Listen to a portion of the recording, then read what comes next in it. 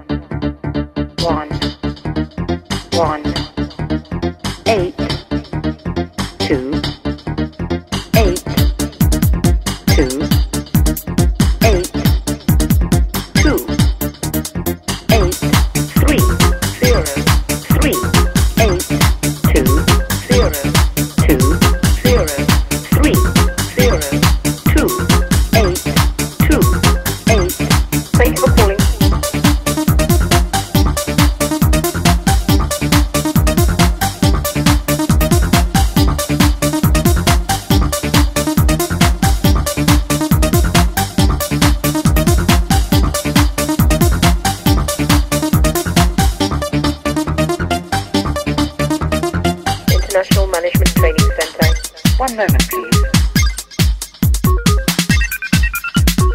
Eight, eight, two, two. The number